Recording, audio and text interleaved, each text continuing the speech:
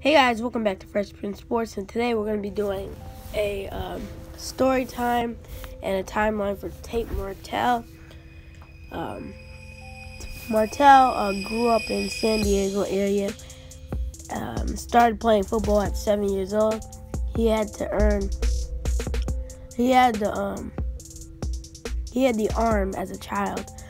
Um, he got attention growing up by Washington coach uh, who got Martell to commit to Washington at the age of only 14. In high school, um, he attended Poway High School, that the local school, but only led the team to four and seven season. He transferred to Bishop Gorman High School in Las Vegas, Nevada. He uh, from there he attended there for his um, sophomore, junior, and senior season uh, but graduated from Desert Pines in Las Vegas because Bishop Gorman wouldn't allow him to graduate early, so he uh, so he can uh, have some spring semester at Ohio State University. As a senior, he was a Gatorade Player fo- Football Player of the Year. Um, after leading his team to 15 0, he was 45 0 in his whole high school career. Well, not his career, but yeah his whole high school career. And um, he was in a Netflix series named QB1 Beyond the Hot, Beyond the Lights. He was a five-star recruit. He decommitted from Washington, which he committed when he was 14.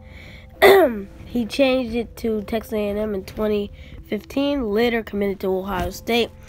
Um, later he decommitted in 20, May 2016, um, and a month later he committed to Ohio State.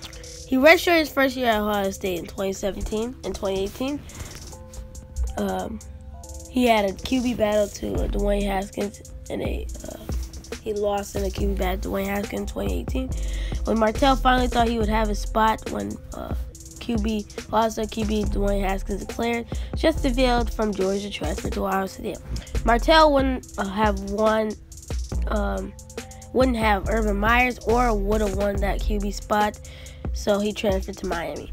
He got beaten out to become the starting uh, the starting QB. He lost to uh, Jarren Williams, and later he decided to switch his position to receiver and start a new journey for his career. And that is the story for Tate Martell. Thank you guys for watching. Make sure you comment down below and stay tuned for the next one. I was 13 when I lost my virginity. Fast forward eight years, bitches still feeling me. Drop six racks on the pounds and amenities. Watch how I'm finna be. Loose off this Hennessy.